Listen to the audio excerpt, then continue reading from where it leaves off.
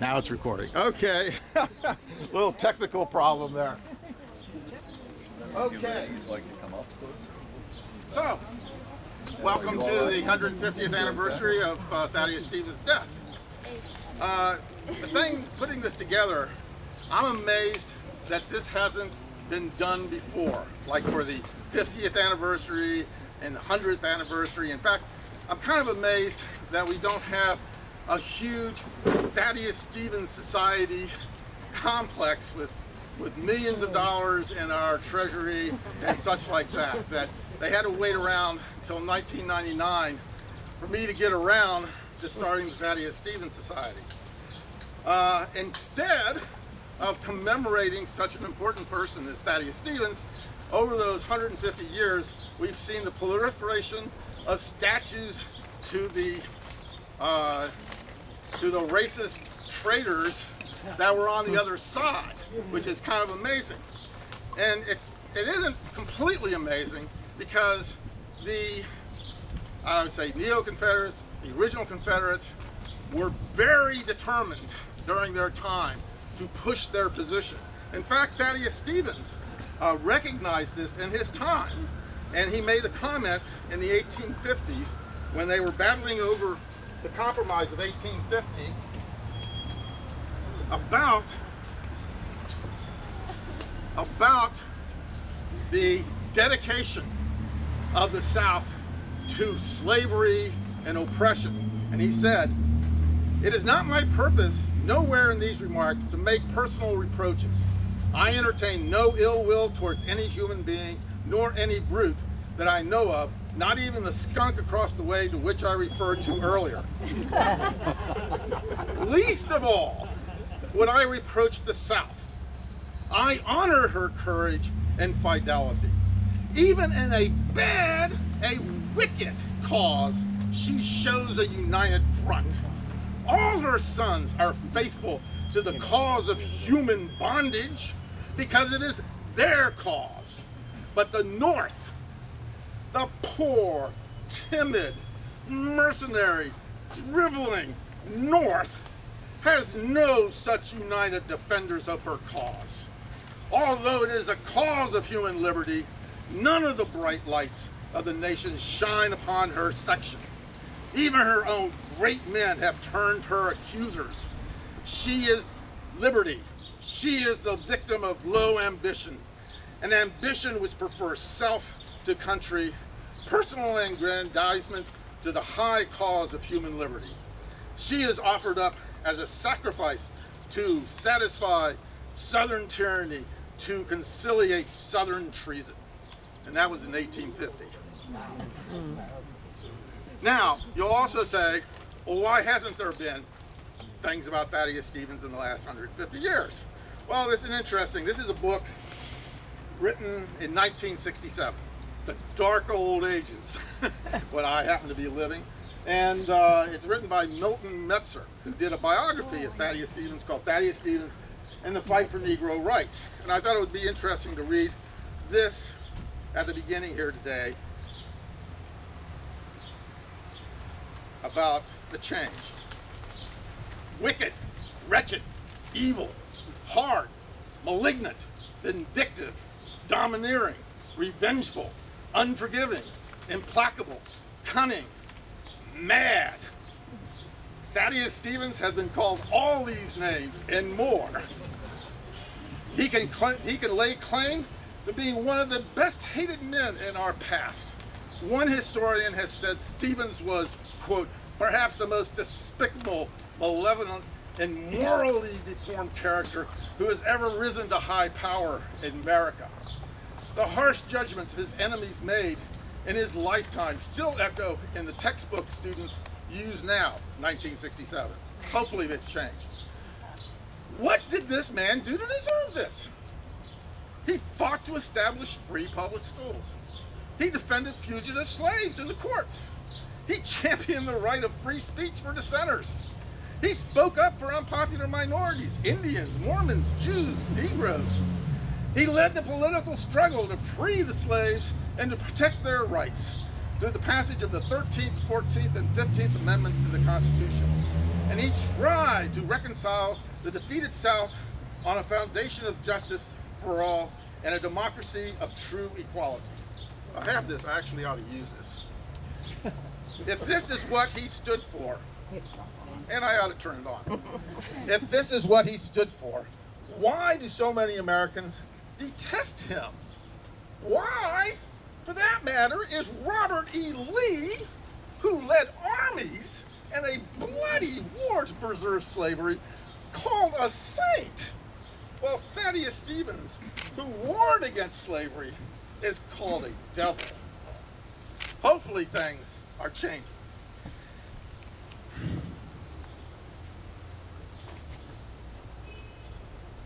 Now,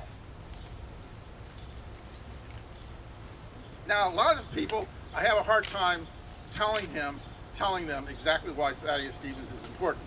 And sometimes I use kind of a shorthand that I call him the 17th and a half president of the United States because he led a veto-proof Congress against Andrew Johnson. And he also was instrumental in the passage of the 13th Amendment, the 14th Amendment, and the 15th Amendment. Even though he had died before the 15th Amendment was passed, he laid the groundwork for that.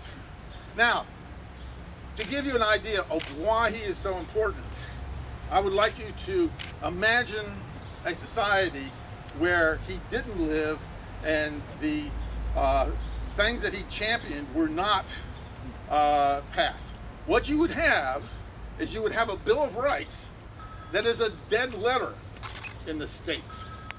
Freedom of speech, freedom of religion, freedom of uh, reproductive rights, all those would depend on how conservative your particular state was. Your state could decide, well, we're not going to allow anybody to have birth control. Or they could decide that you have to be a particular religion. Also, they could actually, and this is kind of amazing, they could pass laws that would have different laws for different people. Just as the South, right after the Civil War, passed laws that only applied to African Americans and not to whites, called the Black Codes. Now, we are seeing now that the tide is turning as far as recognition for people like Thaddeus Stevens and for people like Robert E. Lee. You're seeing the statues come down, you're seeing statues go up, and in fact, right now, I am really happy to announce today that we have reached the goal of $60,000 in pledges for a statue of Thaddeus Stevens in Gettysburg.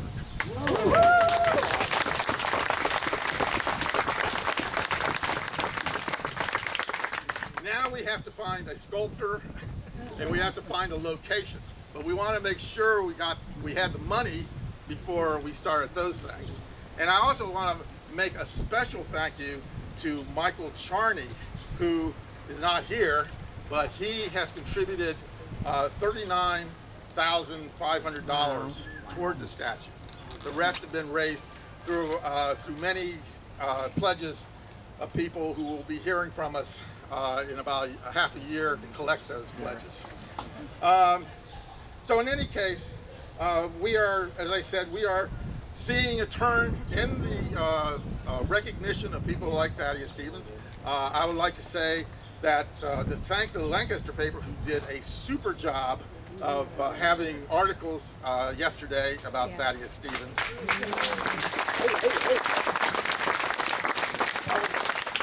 Probably most of the people here are because of that. And uh, however, we have a ways to go. And I just wanted to mention this one thing. Uh, in the last week, I saw on CBS News uh, two reports. Actually, they reran it uh, about Franklin did anybody else see that on CBS about Franklin? Okay. It wasn't Benjamin Franklin.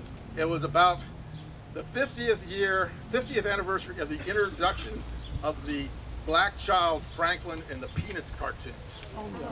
Okay. And that got, like I said, two times in CBS News, plus it was on The Daily Show. Guess who they didn't mention? No mention of Thaddeus Stevens. And we did send a press release to CBS. You know, we didn't get any response from them. But um, In any case, in closing, in my uh, in in my introduction, I would like to say that Thaddeus Stevens should be an inspiration to all people, and we should be eternally grateful that he lived and triumphed.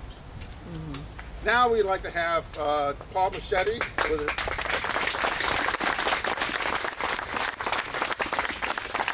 I'd like to introduce Paul Machete with a musical interlude, which actually should have been first, but I didn't remember. So. Didn't remember. Well, hi everybody. That was great. Let's hear it for Ross.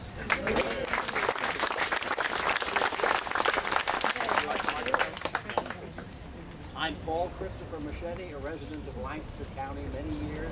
I live in Gettysburg now. Amateur historian, and I'm also a singer, songwriter most of my life. I was asked to write a song for Thaddeus Stevens, and it took me a long time to write a song for Thaddeus Stevens. Can you hear me okay? Because Thaddeus Stevens accomplished so much and had such a big life I think you ought to for so long. Because Thaddeus Stevens had such a big life and did so many things, it was hard to write a song. So I wrote this, the ballad of Thaddeus Stevens. You want me to hold it for you? No.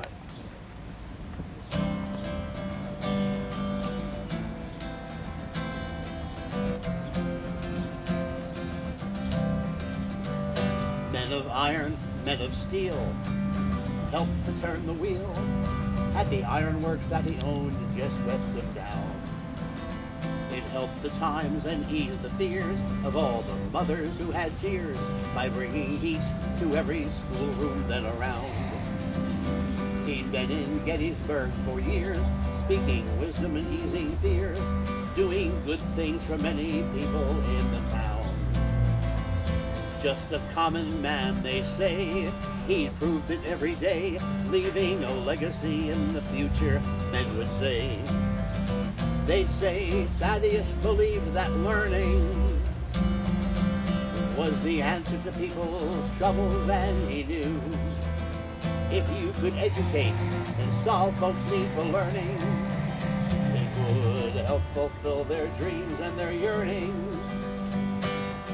Club, foot, and hope, and a staggering life of work gave Thaddeus his ability to propel. And as he began to gain through a lifetime of pain, being called the devil's child, misunderstood. But you see, he really do his part by following his heart in that capital city we call Washington. He pushed through the laws that set men free, but did anyone ever see it was Thaddeus who would illuminate our minds? So when I look around today, I understand why people say it was Stevens who would help the common man. I see a classroom or a school, they further mankind evermore. I see Thaddeus Stevens smiling at the door. You see, Thaddeus believed that learning was the answer to people's troubles, and he knew if you could educate, solve folks' need for learning, it would help fulfill their dreams and their yearnings. Men of iron, men of steel, helped to turn the wheel at the ironworks that he owned just west of town.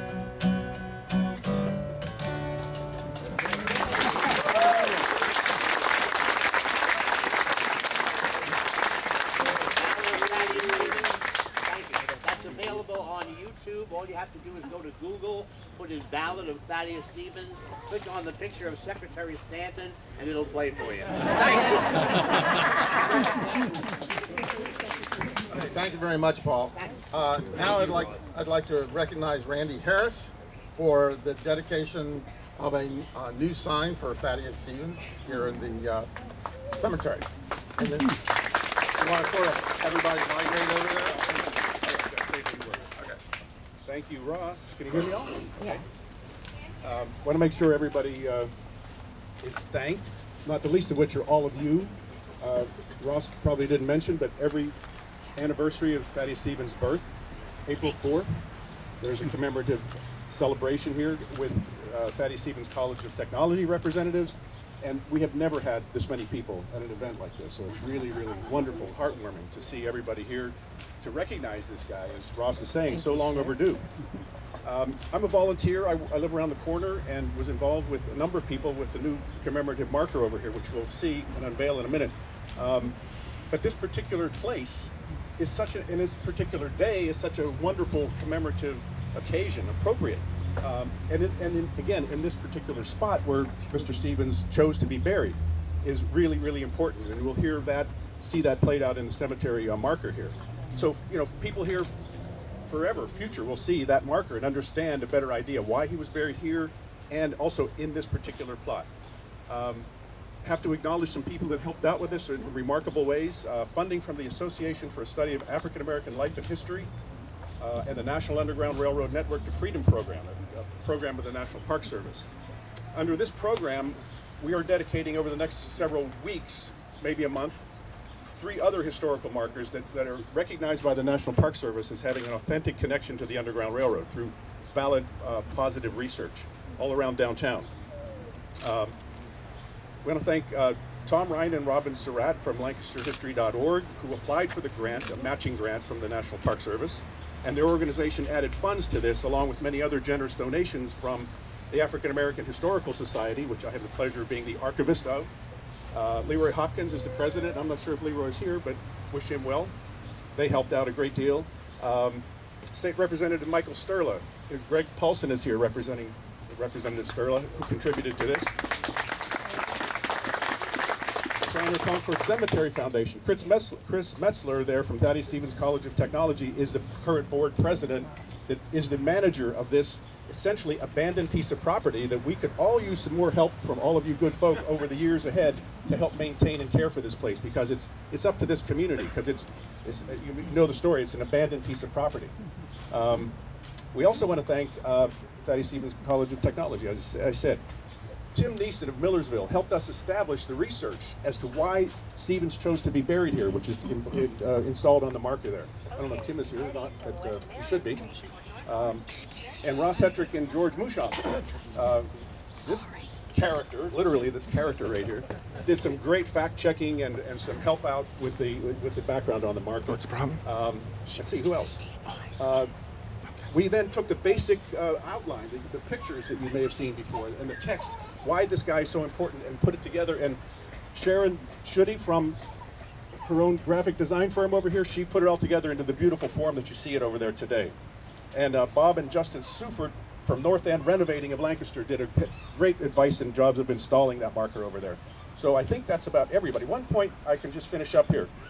Looking back, one year anniversary of Charlottesville and all of the tumult and all the anger and the tragedy that happened there over this whole issue of memorials, statues that we talk about, and we're seeing in the Civil War era. This focus is like kismet beyond belief if you can pull that all together. Um, so, 150 years from now, what about this marker? What will people look on back and see on this marker? I have to believe, I have to predict that because it's about truth, human freedom, justice, liberty, equality, there should be no divisiveness and anger or looking back in, in second guessing hindsight to why we placed a marker here. Those basic fundamental freedoms are what will pull us all together as we go ahead. And this will be a guidepost, hopefully, to future generations when they understand this man. So, we're going to pull the old marker off.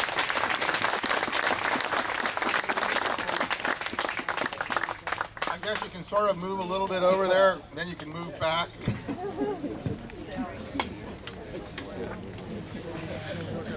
like a good idea.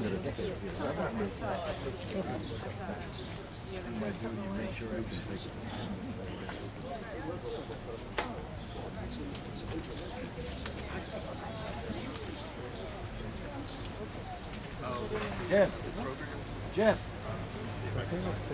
Jeff. Jeff.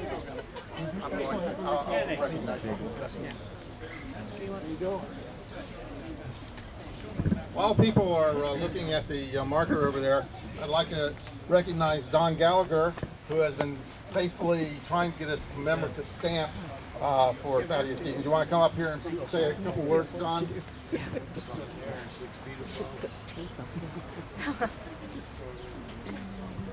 Thank you, Ross. For more than 15 years, a number of us have been trying to urge the Postal Service. Okay. A number of us have been urging the Postal Service to issue a stamp honoring Thaddeus Stevens. The way you do that is to mail things to them in the mail to a committee that makes those decisions. That's what these postcards are for. I'll be passing them out, and please send them in. It'll make a big difference. They will um, they'll be reconsidering a stamp for Thaddeus Stevens next April. So between now and then, if we make a big effort, we should be able to succeed this time. Thank you all. I better get one later. Ma'am, uh, I already did it. Ma'am? Okay, I'd like everybody to sort of come on back, Yes. sort Yeah, of, uh, sort of resume our program here.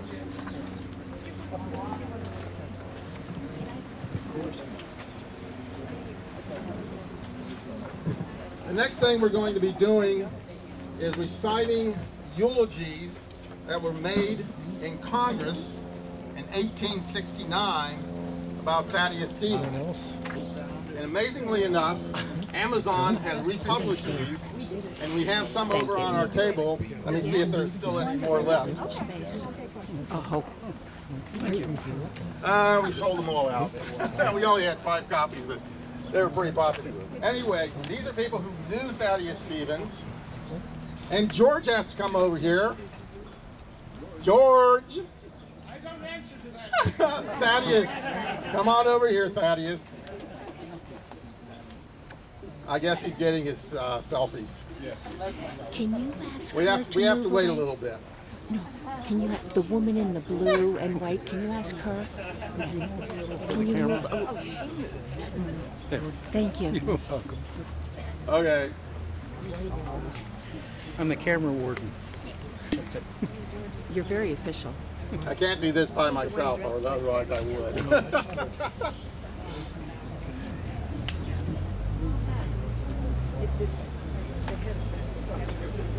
Unexpected delays. What caught your attention? Sir, what caught your attention? What caught my attention to this? Well, I'm a history buff from way back. You know, uh, in fact, I got an award for having the highest grade uh, point average in high school uh, for history. And uh, I studied the uh, Civil War quite a bit. And uh, it, to me, this man epitomizes the core value of the United States, States, which is that all men are created equal. Much more so than Thomas Jefferson, who mouthed it but actually owned people. So Thaddeus Stevens not only talked about it, believed it, but lived it to his core. And that's why he's buried here, because this was the only integrated cemetery in Lancaster at the time of his death. So we got that here now. Thank you. You got, you got, you got your uh, part. Okay. So you begin. And these are eulogies from con- congressmen who knew Thaddeus Stevens. These were written by a number of, of my contemporaries in the Congress. This one from Congressman Dickey. Mr. Stevens was deeply loved and fully trusted by his constituents. He was often in advance of their views. Sometimes he ran counter to their prejudices or passions, yet such was his popularity with them it was so strong, their faith in his wisdom, in the integrity of his action, and purity of his purpose, that they never failed to sustain him. Popular with men of all parties, with his own supporters, his name was a household word. To them, and among themselves, Old Thad was a phrase of endearment, while even his foes spoke of him with pride as the great commoner. No man ever died more deeply mourned by a constituency than Thaddeus Stevens. Congressman Koontz. His memory will be fondly cherished by that large body of people so recently liberated from human slavery.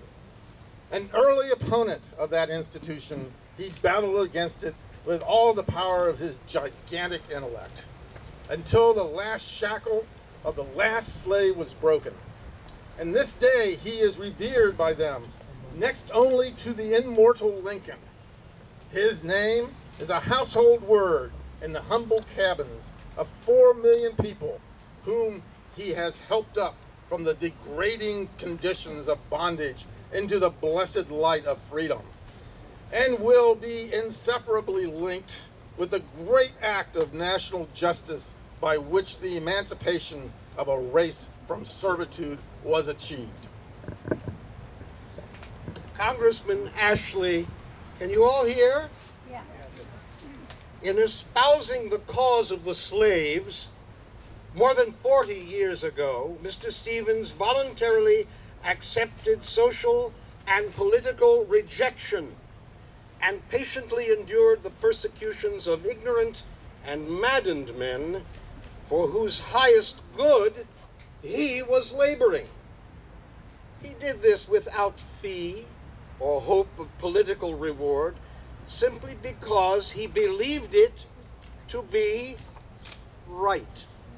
And because he was right, we shall someday see the children of the men who stoned him gladly join hands with the liberated slave in bringing back the stones in the shape of blocks of whitest marble with which to build his monument. And as you can see, they brightened up the marble here. So maybe that prophecy has come about. Congressman Maynard.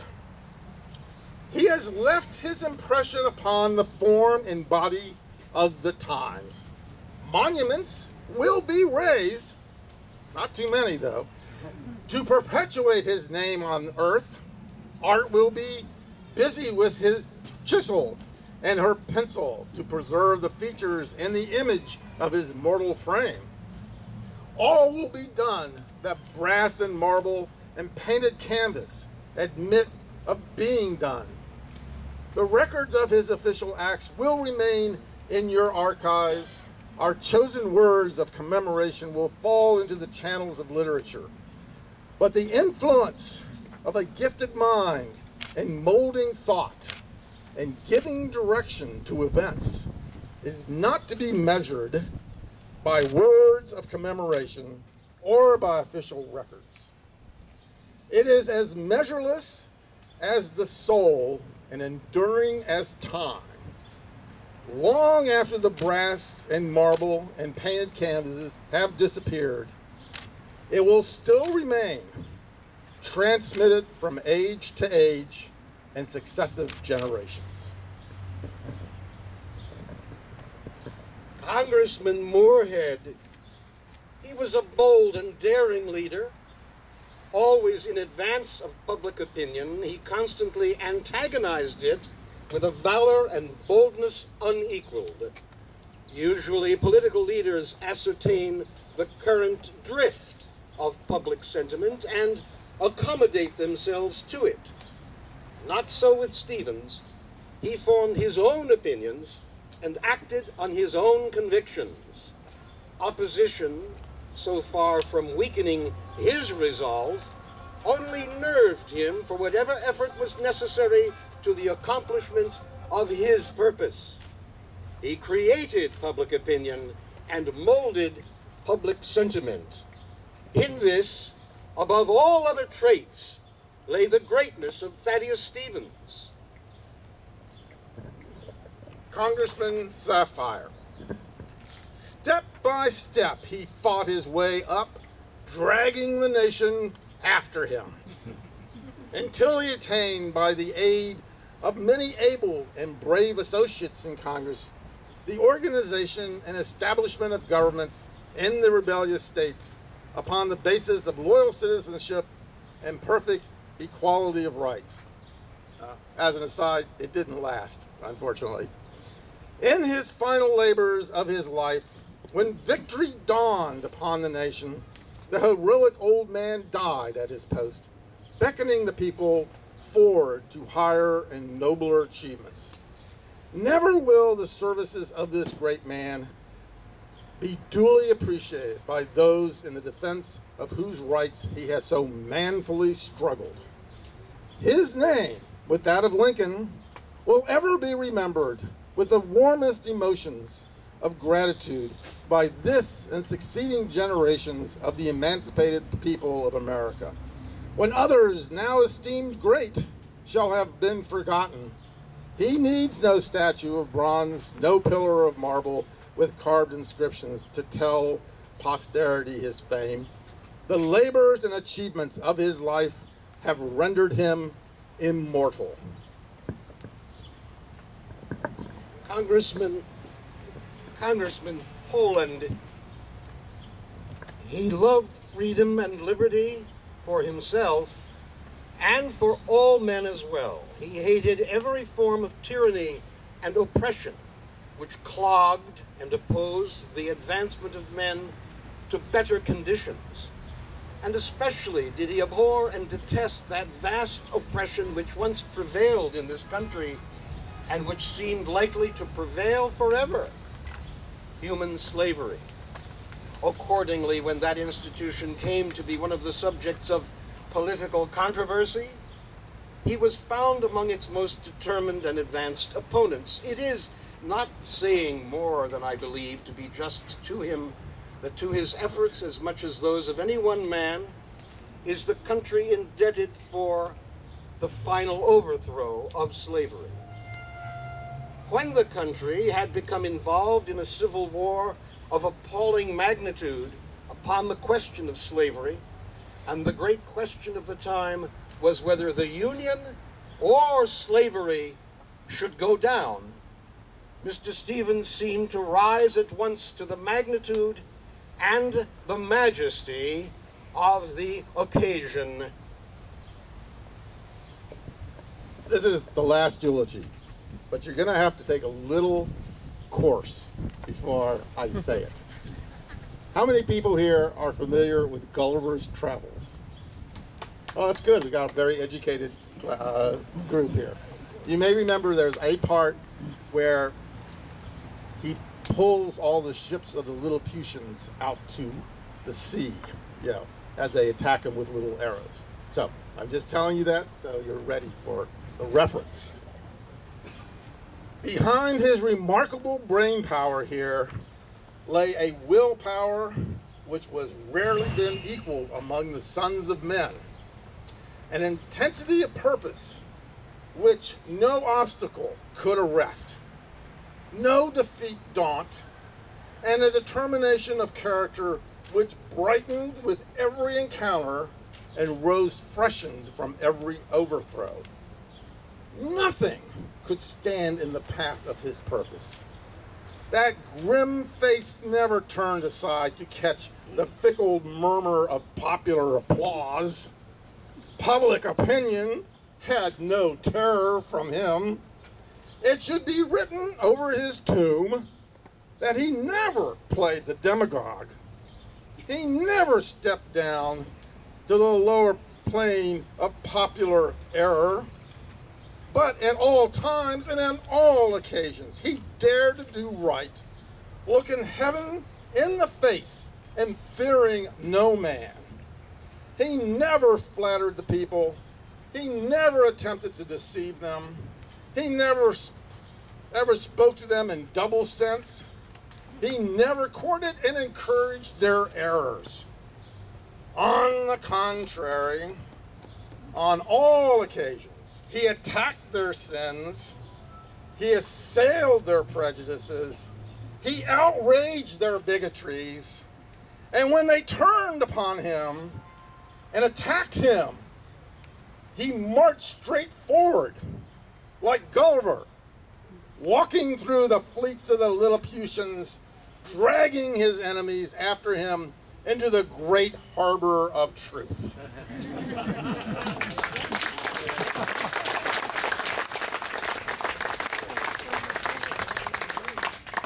So I see we're, we're pretty much ahead of the schedule. And uh, one of the nice things about uh, being ahead of the Thaddeus Stevens Society is talking to people who are very dedicated to Thaddeus Stevens. And one of the main goals I have here is to have fun. And uh, I, I, seem to have accomplished that. Uh, is Janet Landon here? Well, anyway, I got an email from one of our uh, supporters, Janet Landon, who uh, said that uh, she was impressed by my jolly, uh, good, fun attitude towards everything. And I was thinking, maybe since we have a little bit of time, and I, I don't want to get this stretched out too long, uh, is there anybody else who would like to say anything about Thaddeus Stevens at this time? Yes.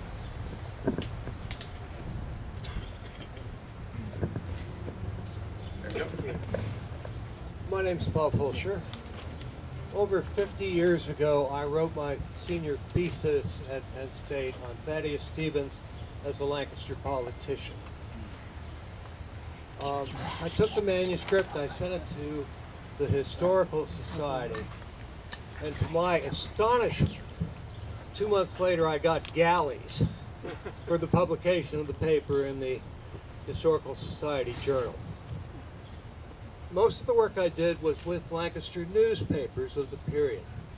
And after Stevens died 50 years ago today, there was a funeral held here in Lancaster. And the Lancaster Intelligencer, in its next issue, had a comment. Now, what I'm going to quote is not verbatim, uh, but it's pretty close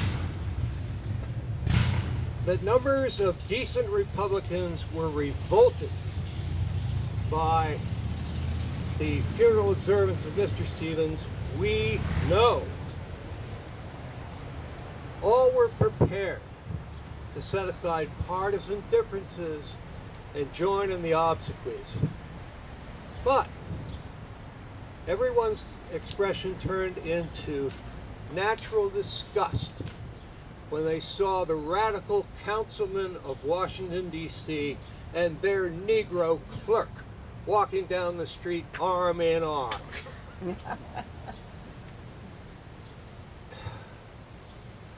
the people of Lancaster had heard about Mr. Stevens' advocacy of equality for years, but they were not prepared to see this manifestation of it. That's the end of what is not a verbatim quote. but the Lancaster Newspapers Inc. Library has that issue of the Intelligencer if you would like to read it. Those sentiments, unfortunately, are still present today. And the fight is not done. That's all I have. Thank you. Thank you. Yes, it, wa- it was, yes, go ahead. Somebody said something about fun. I approve. So, so anyone else have uh, some short comments to make? Okay, oh, yes, sir. This is very short. Okay, that's I great. just want to say Rah, rah. that my name is Here, Bob why use Ibold. it? Use that. Oh, okay. My name is Bob Ibold. I live just a couple of blocks up in that direction. And I was raised in the segregated South. Yes, I am that old. and when I moved to Lancaster about 50 years ago, I did not know who uh, Th- Thaddeus Stevens was. That's because it, Thaddeus Stevens had been eliminated from all of our textbooks, and that was even true in my first year of college down there.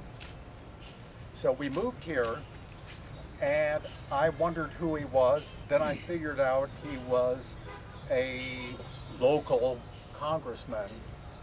And then, this is the end, I came down here by accident and read what is on his tomb. And um, I cried. Okay. Thank you. And that's a uh, perfect segue into our next thing. Ross, another comment over here. Oh, okay. Hold on. There you go. Uh, just as a matter of historical balance, uh, I'm Ernie Schreiber. I was editor of the Lancaster New Era. And as you know, uh, always a Republican paper and a Democratic paper. Uh, back in the, the times where, where we were reading about with the Intelligence Journal. Uh, it was a Democratic paper, and, and, and it was very racist and just read the papers. But the, but the Examiner uh, and, the, the, and the, the paper, which is quoted there, were very positive. Lancastrians, in fact, always supported uh, Thaddeus Stevens. He, he won by landslides. And, and nationally, he had the same sort of audience. I had in my office behind my desk the wake for Thaddeus Stevens when, when he was dying after essentially being president of the United States for, for several months. The streets were filled. There were blocks filled with, with ordinary people worried about, you know, wanting to know how Thaddeus Stevens was doing. He was beloved by the people of America, especially in the North. He was beloved by the people of Lancaster County, and you have to discount, you know, the, the political times that led to the kind of bigotry that was in the Intelligence Journal. I think we have to sort of look on them as uh, Intelligence Journal was sort of the fox of their day. Uh, you have something you, oh, I thought you wanted to say something. Yeah. Okay, sure. I mentioned the Fox of the day. My name is Jonathan Fox. Yeah. I worked 10 years for the county Human Relations Commission until they were disbanded by two Republican county commissioners. I want to make sure that you all know that the city of Lancaster's Human Relations Commission is alive and well. And as their investigator, I encourage you to spread that word so that we can continue to enforce the ordinance within the city that protects people from illegal discrimination in not only the usual ones, but also sexual orientation. So please continue to spread that word. The City of Lancaster's Human Relations Commission awaits hearing from people who need our assistance or support. So thank you. And I want to thank these gentlemen. I'm from Massachusetts, but I'm here for a reason in Lancaster, and it's because of people like you. Thank you, thank you very much. Is there somebody else over here that was making some motion? Yes. Yes, my name is Larry Ashby. Uh, Mr. Stevenson, as you know, had a disease and he didn't have no hair. But this good gentleman, Mr. Steven, does have hair. Congratulations. Yes, hold on. Hi, folks. I'm an alumni from Stevens 40 years ago. Um, I grew up poor in Elizabethtown. Had the opportunity to go to different Division two schools. My father was a historic artist, and he promoted Stevens as I was growing up, and it um, paid a lot of dividends. On my working vehicle, I had profiles of Stevens, um, and I use that as an advertisement tool as well. So, Great. Okay, if we could have Paul up here. One more, okay, one more. My name's Jack Dibble, and I just wanted to remember Thaddeus Stevens for what he did for the people of the Commonwealth in the public schools. In 1835, he helped pass the Free School Act. A year later, people from Lancaster County, but not from anyone that we know, attempted to have it repealed. And in a thunderstorm, he rode to, to Harrisburg and gave a speech that turned the tide. And that is one of the reasons we have free public schools in Pennsylvania, something that has touched probably almost everyone in this group.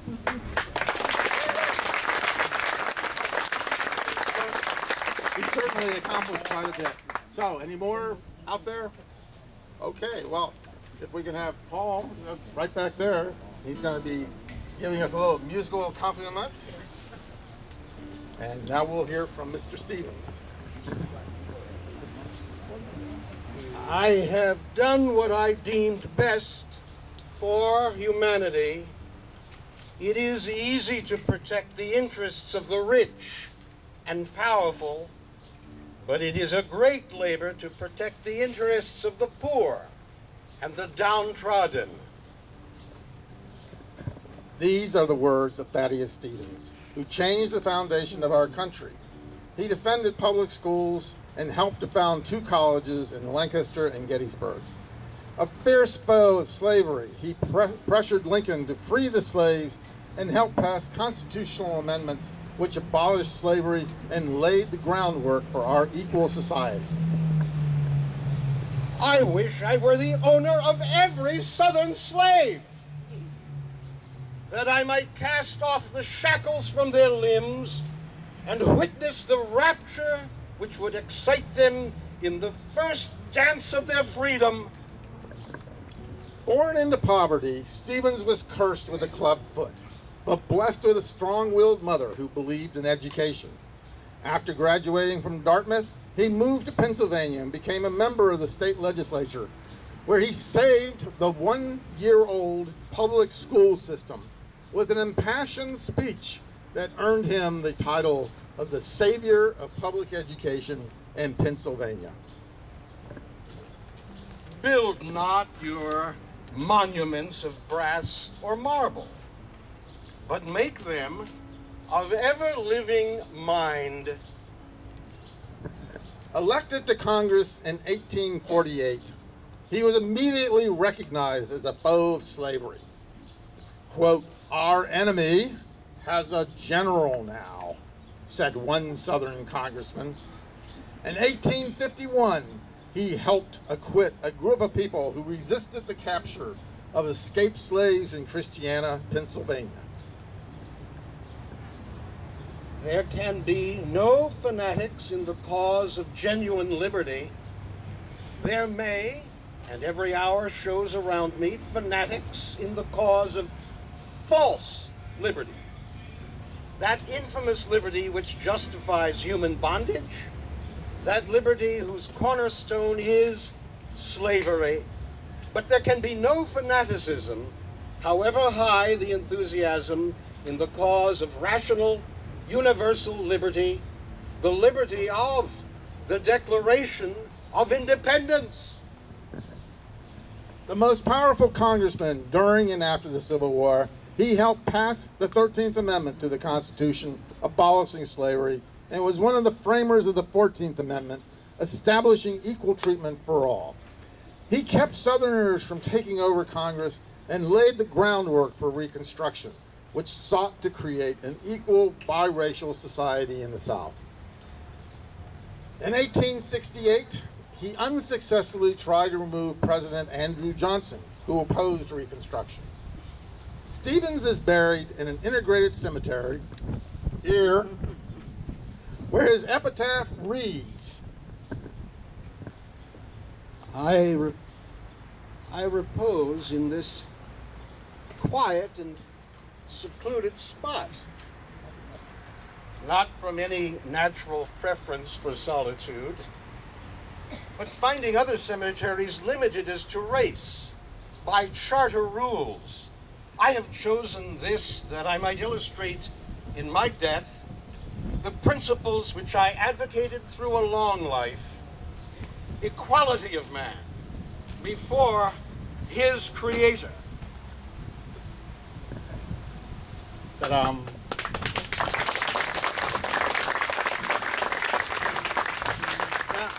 now we'll have uh, the wreath laying, but before uh, we have that, I just want to say for all your patience and fortitude of uh, sitting this all out, you will be rewarded with a little commemorative booklet and coin of the 14th Amendment. We'll be probably lining up over here right after we have the wreath laid. Have we enough to go around? I think so. I hope so. This is a huge, wonderful turnout. Thank you for coming. Oh, this is the wreath laying.